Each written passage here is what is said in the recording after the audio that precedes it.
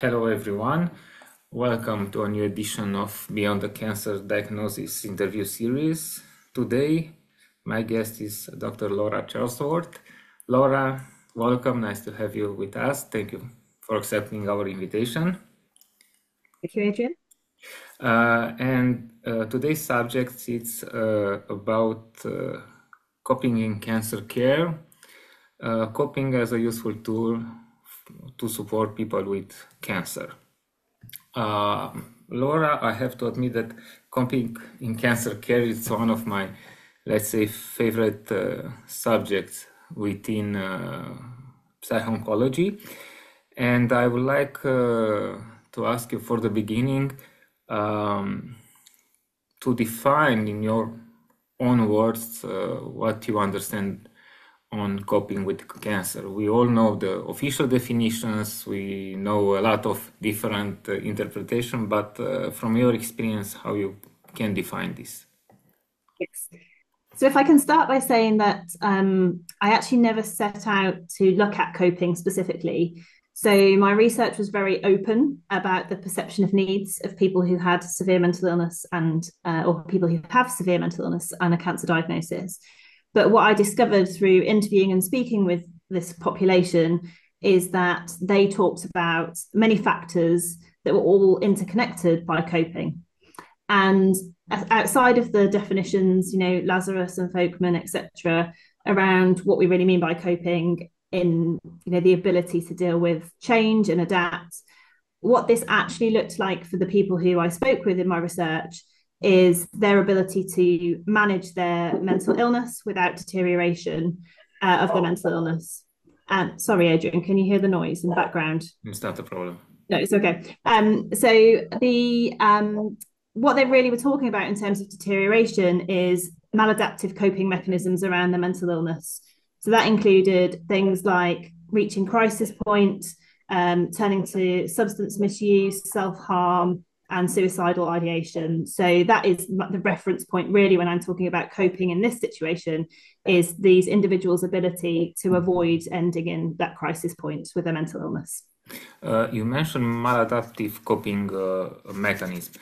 Uh, in the case of severe mental illness, um, the patients are doing, let's say, instinctively because uh, in the case of the majority of cancer patients, they are doing in a way to feel better. But mm-hmm. in uh, the case you mentioned, uh, it's instinctively done this maladaptive. Not necessarily. It's that's just the point to which they turn. Uh, because for many of these people, they've experienced that before. And so when their mood deteriorates, they feel like they're not receiving the help that they need. Uh, their stress levels, their anxiety levels increase, and their you know their severe mental illness, illness deteriorates, the strategies that they turn to are those maladaptive coping mechanisms. I wouldn't say they're necessarily instinctive, but they're possi- possibly familiar. Okay, because in the other case, uh, they are trying uh, to to make it better, but uh, they are doing worse. So uh, this yeah. Uh, this uh, was the questions about. You mentioned about severe mental illness. Um, in uh, before we go further, I would like briefly uh, to to mention or to explain what exactly means severe mental illness or SMI for our our audience, just briefly in large terms. Yeah. yeah, so it's actually really complicated to to give you a single definition. And in my study, there's a whole section really dedicated to trying to explain that. And there's been evolution of the definition of severe mental illness over many decades. So, in its simplicity, there are two different ways really of um, describing it. One is through classification of disease types. So, we might here talk about things like um, schizophrenia, bipolar disorder, we might categorize by condition or disease type. Um, or we could talk about that in terms of how it actually impacts and affects on a, on a person. And that is actually what I've selected to do in my research is to say that severe mental illness is actually uh, an illness that affects somebody in the long term. So for a duration of two or more years, It also is something that affect, affects their day to day life. Um, and they are seeking support from mental health services um, for their mental illness. So I chose not to go down the route of only including specific diagnoses. And that's for multiple reasons that again gets complicated, but not everybody with an SMI has a, an actual definition. Um, so I think it would have excluded a group of the population had I have chosen to go down the route of saying only people with a definition of schizophrenia may be included in the study. And uh, uh, you are talking now as a research from uh, your study, working yes. in, a, let's say, hospital or in private uh, research.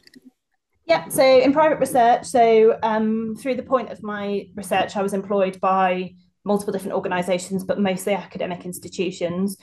My and however, my recruitment um, strategy was to have open recruitment for anybody to express an interest should they have seen the study. But I was also supported by having nine um, uh, uh, public health organisations on board to help me to identify potential participants.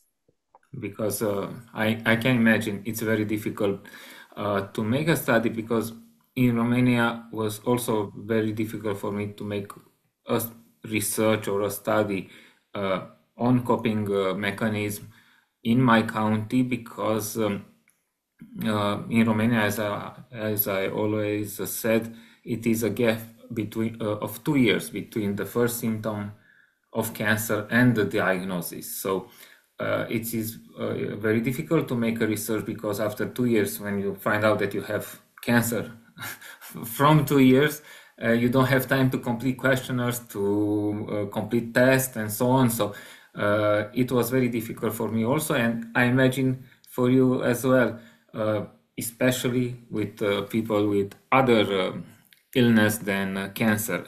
And now we come to our subject.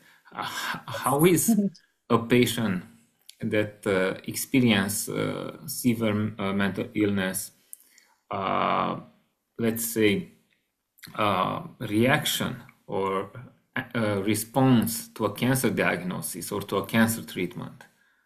What is different from a not normal, but for the majority of cancer patients? Yeah, so I think it's a really interesting question, and there's actually quite a lot that's different um, when you when you really take the time to explore and speak to people who've who've been through this. And I think the first thing is that this starts way before their cancer diagnosis. And many people who've got severe mental illness are very familiar utilizing healthcare often and um, are known to their general practitioner, their family doctor, um, and also some mental health services, you know, d- depending on the sort of structure um, regionally and, you know, geographically. So this starts where many of these individuals that I spoke with had their physical symptoms overlooked. And that phenomenon is known as diagnostic overshadowing. And that's because they're complex individuals uh, with complex health circumstances. So they'll present themselves to their health professional with a, with a physical symptom. And in many cases, that's overlooked uh, or it's attributed to their mental illness. So if I can give you one example from um, from my research is I had a participant who has had um, who has mul- um, multiple severe mental illness diagnoses, one of which relates to a very complex eating disorder that she'd had for many years. I think uh, um, it was about 35 to 40 years that this individual had managed this particular eating disorder. And all of a sudden, well, over a period of time, she developed a very swollen abdomen and had sought help on multiple occasions and often was told this is this is a problem due to your malnutrition because you're not you're not getting enough nutrition you're not eating and drinking enough. And she said but i've lived with this for many years and this has never happened before and i'm very uncomfortable and i feel very different and i'm in a lot of pain and that is unusual for me. And what happened to that individual is actually she she then was sectioned under the mental health act and admitted to a hospital setting where she was had a feeding tube and was fed through you know through that mechanism and about four months after that um, she actually went into accident and emergency department because her pain was so extensive and upon having a ct scan discovered that she'd got a watermelon sized tumour in her ovary. So her symptoms were just put down to the fact that she'd got this mental illness and that the manifestation of what was happening was a, was a symptom of that. And that wasn't the only case that I heard of this diagnostic overshadowing. It actually happened uh, across multiple cases of my study. So it starts right there. And um, then I find that, or found that these individuals actually, upon the point of diagnosis, whilst their actual experience of diagnosis was very important to them, and quite often was the, the news was delivered in poor in a poor um, way. So on a ward on their own without family members present, unaware that they were going to a, a medical setting to receive this life changing news. You know, a short 10 minute appointment to tell them they've got cancer and then just given an awful lot of information that they were unable to process. That was very difficult for them. But actually, not very long after that diagnosis, there was a, a moment of thinking, actually, I can be quite positive about this. And I think that's quite unique for this population. Now, again, I don't want to generalize this to everybody with SMI and cancer, but I think this is about um, all of my participants had lived with their SMI for a long time. I'm talking 20 plus years. And I think there was a visualization of the cancer being a short term transient illness that would come and go. I've got this diagnosis, I'll have treatment and it will go. Whereas their mental illness, they're aware that they're living with this for life. You know, their mental illness will never be cured, it will be managed. And so there was this different approach of how do I actually tackle the cancer that I've got and seeing it as a, okay, I can do this, I can, this will come and it will go. And it's an area of focus. And um, so it sort of happened initially for some, for, for several participants actually. They also sort of go into the health system for their cancer care using the strategies that they've got already. So many of them had their own strategies for resilience. They were self advocating for their care. They were imagining sort of a new future. The cancer diagnosis was the point of thinking, actually, do I want to live in this place after my treatment? Do I want to have these people in my life? It was kind of a moment of reimagining a future, a future me. And but what happens is they go into the system with all of these strategies for resilience. And because of the behaviors and the experience, sadly, that they encountered in the healthcare system, those strategies for resilience were um, were kind of broken down. They were unable to use them because they weren't being listened to. They didn't feel that their, their mental health was taken into consideration. They didn't feel that they got listened to and treated as a whole person. Um, so that's sort of what's happening whilst they're having their treatment. I think there's a sorry, Adrian, I know this is a very long answer to this question, but I'm taking you sort of through the through the journey. Once they then start having treatments, that's also really fascinating because many of my participants did not describe having full set of information um, the an appraisal of treatment options presented to them. Many of them were just told you should have this treatment. This is the best treatment for you, without actually explaining lots of the long term effects of those treatments or other treatment options. So I think shared decision making was very much reduced, and particularly here in in the England and in the UK health systems, we're really trying to drive towards that as being a really important factor of care. So that shared decision making, personalised care, taking into consideration everything about that person.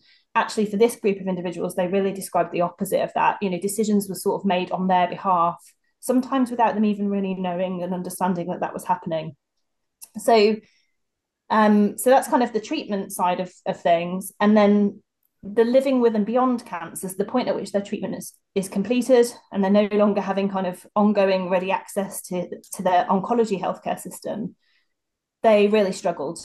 And that was because they, all of a sudden, there's a reality that the cancer actually isn't a transient disease.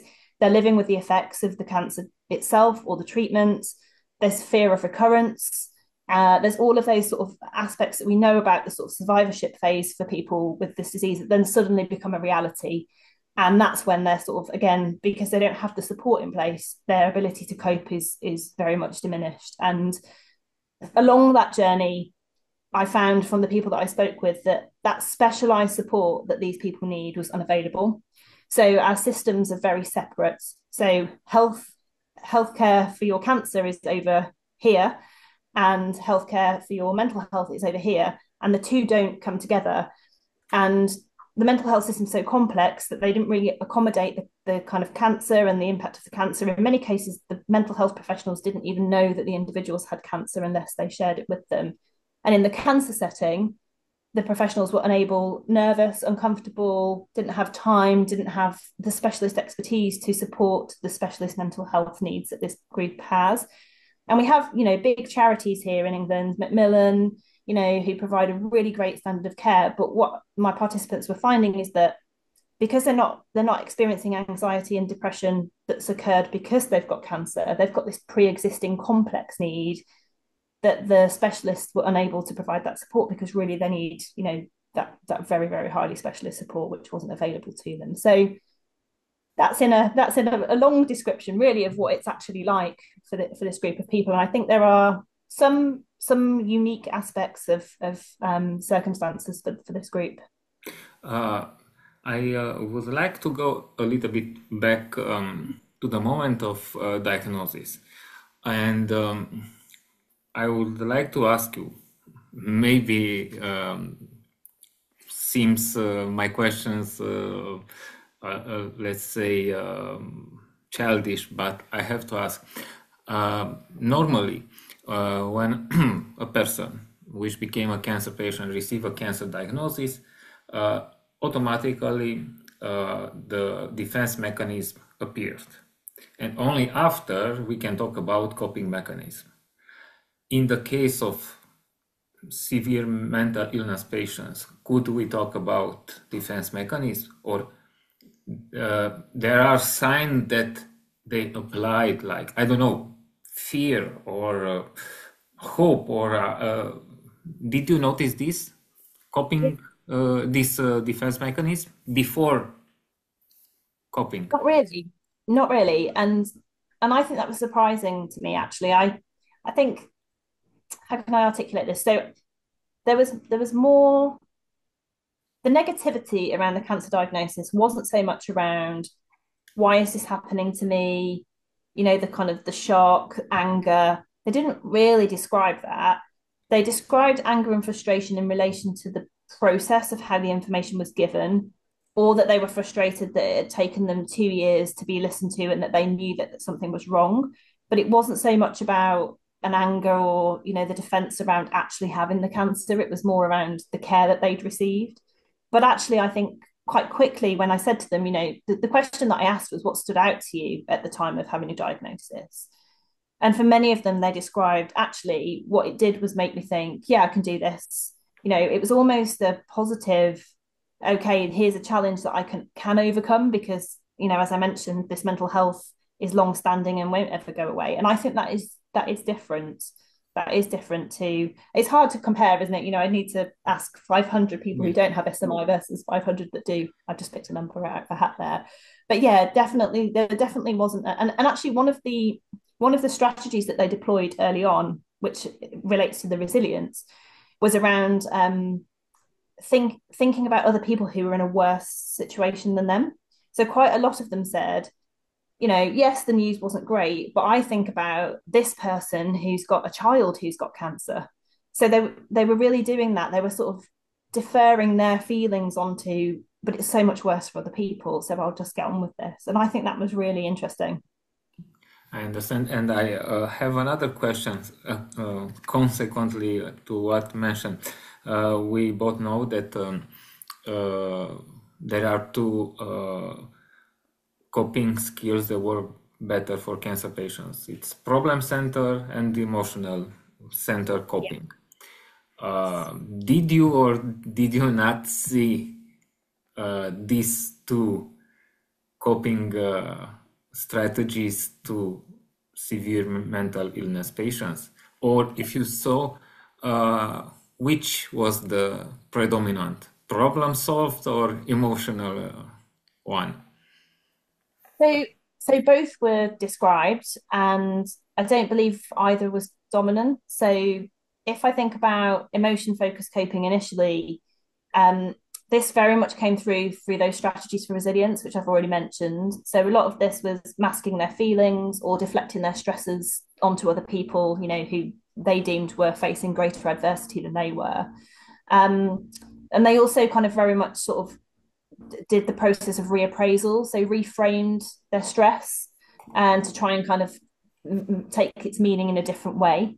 Um, and I think that one of the ways that they did that is that if a health professional used a, a positive language, you know, such as this is curable, they absolutely just held on to the phraseology that was positive and sort of re- reappraise in sort of an emotion focused coping way. Um, but they also very much demonstrated how they attempted to adopt problem focused coping strategies as well. And um, way, so, some examples of that would be through seeking to obtain further information about their diagnosis. So a lot of my participants said, you know, they were actually given very brief information uh, about the diagnosis and their treatment and had to sort of self advocate to find out more you know what type of cancer is this what are my options because they weren't given that straight away um, so they were trying to make informed decisions. They were trying to be part of their sort of shared decisions about their care and were also seeking out the sort of specialist mental health when they knew that it was deteriorating. But unfortunately their ability to sort of modify their stress in that way was limited by the environment that they were in in the healthcare setting where the healthcare system actually was unable to to provide that i understand. You mentioned uh, reappraisal and uh, we mm-hmm. all know that there are many uh, uh there are many different uh, interpretation positive reappraisal reappraisal on the problem etc uh, can we talk about self blame or blame the others in the case of severe mental illness patients? Because this is one of the primary feelings from for a cancer patients or self blame or blame the others. In this case can we talk about? Yeah they didn't they didn't really talk about that. I think of all of my participants only one talked about how they felt that perhaps some of their lifestyle behaviors were possibly related to their cancer diagnosis.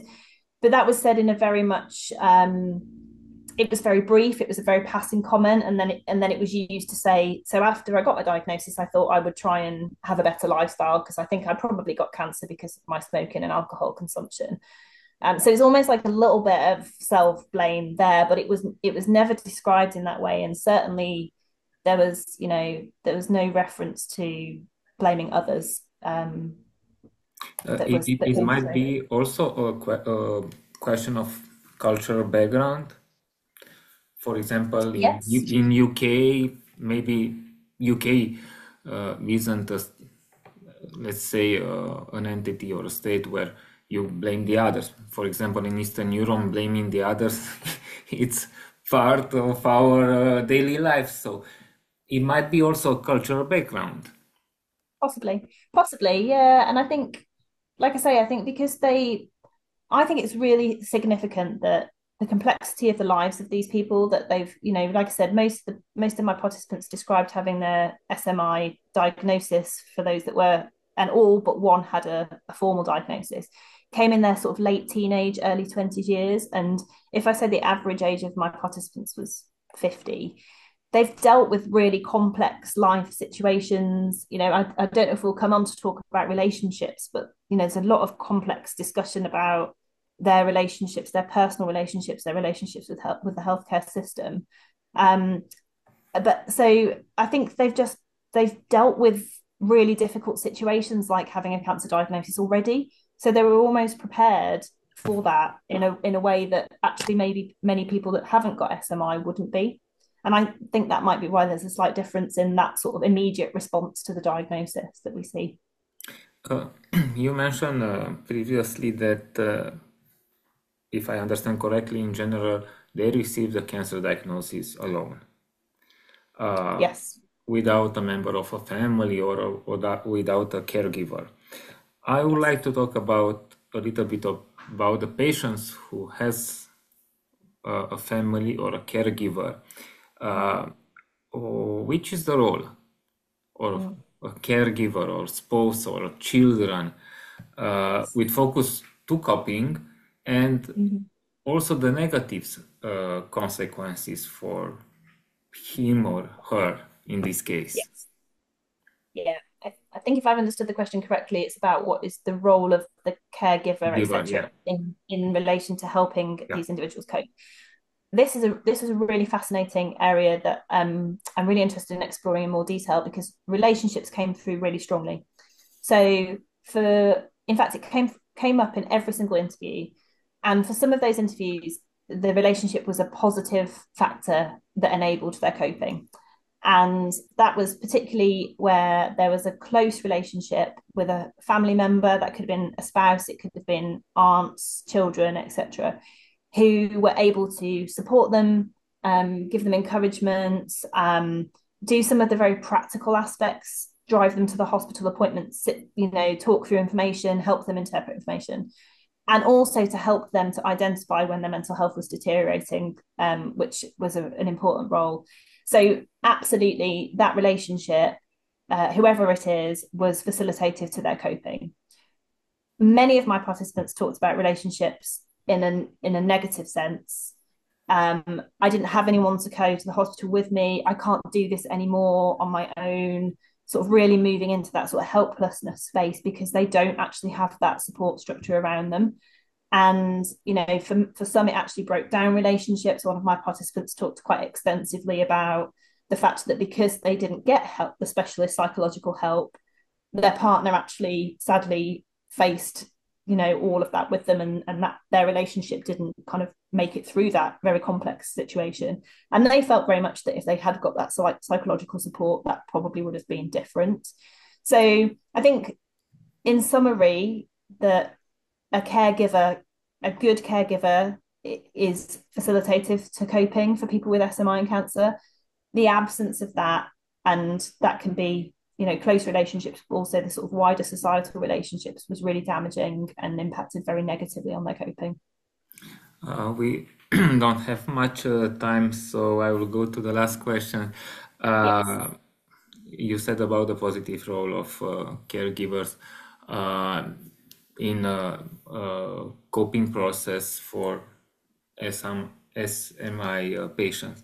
But during uh, your experience uh, during the study, did you uh, met situations uh, when a caregiver walk away or uh, from someone with severe mental illness? So it try and try and try and at a moment just can't get it anymore.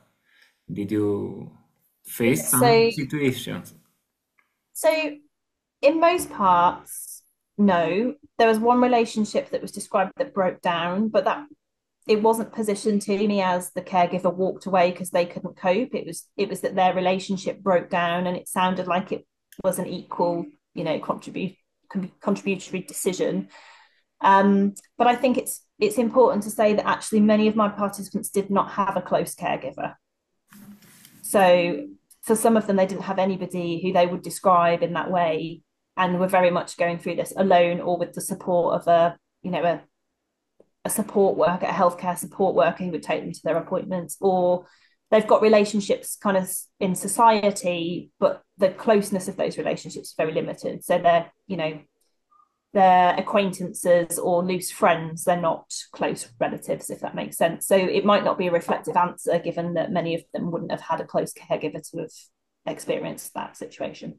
Yeah, which is uh, unfortunately uh, pity to to yes. face a severe mental illness alone and then a cancer diagnosis when for some of us even uh, with family support it's also very difficult and all the family structure is uh, changing and all the uh, strategies or the plans are destroyed so uh, i only just imagine how it can be or how they can feel about it uh, laura yes.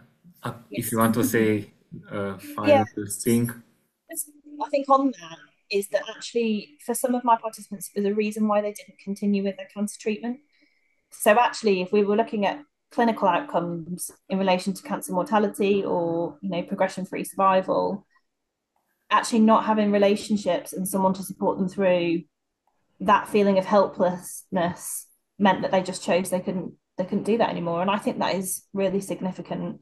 And and there are probably ways to support that, I think, by thinking about peer support models, thinking about having a, you know, a named support supportive contact. It doesn't have to be someone with really comprehensive clinical expertise. You know, it's a it's an advocate and a a, a buddy or a, you know, somebody who's just with them that, that could help that. I think we would see a change in uptake and treatment compliance and, you know, a, a, a desire to continue to go through the, the process. Very interesting. Laura, thank you very much for your thank time. You. Thank you very much for being with us today, for all these interesting informations about uh, a not easy subject to debate within uh, psycho-oncology, within cancer care, and good luck on your research, on your work, and on your future research. Thank you for Thank you. being with us today. Don't forget to like, comment, share, and subscribe to OncoDaily on YouTube. Hit the bell icon to stay update.